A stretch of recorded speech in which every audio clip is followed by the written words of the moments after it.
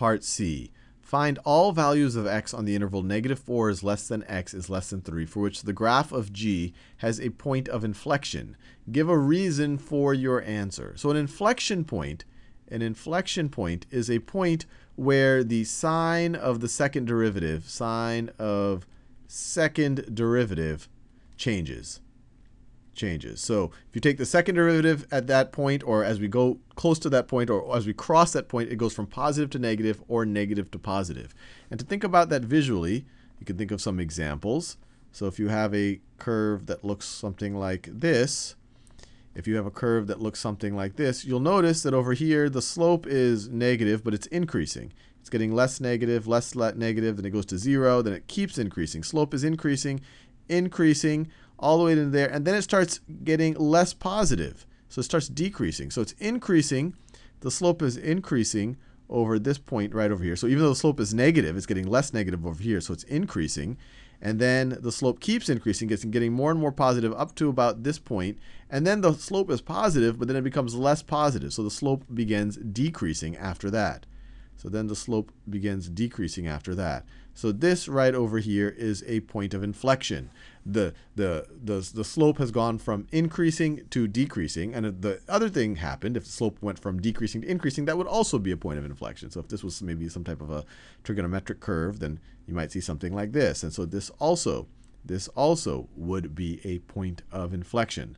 But for this, you know, our g of x is kind of hard to visualize the way they've defined it right over here. So the best way to think about it is just figure out where its second derivative has a sign change. And to think about that, we have to find its second derivative.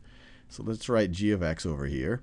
We know g of x is equal to 2x plus the definite integral from 0 to x of f of t dt.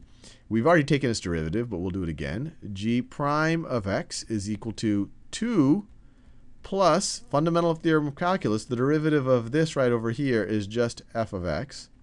And if we have the second derivative of g, g prime prime of x, this is equal to derivative of 2 is just 0. And the derivative of f of x is f prime of x. So asking where this has a sign change, asking where our second derivative has a sign change, is equivalent to asking where does the first derivative of f have a sign change? Sign change.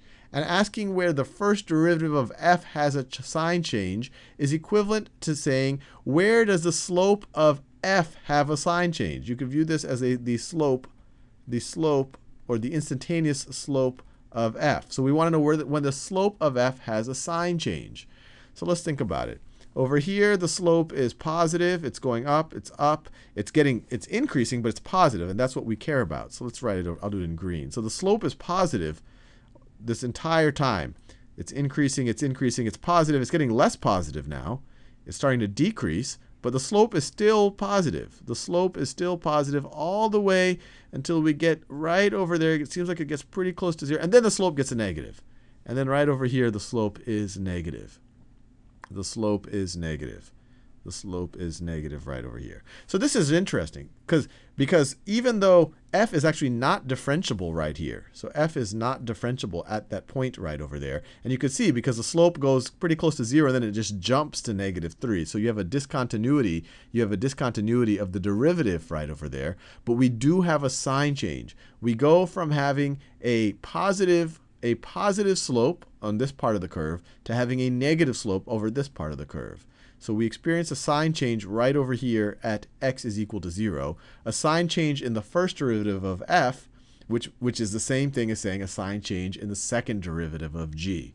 And a sign change in the second derivative of g tells us that when x is equal to 0, that when x is equal to 0, we have a point, the graph of g has a point of inflection.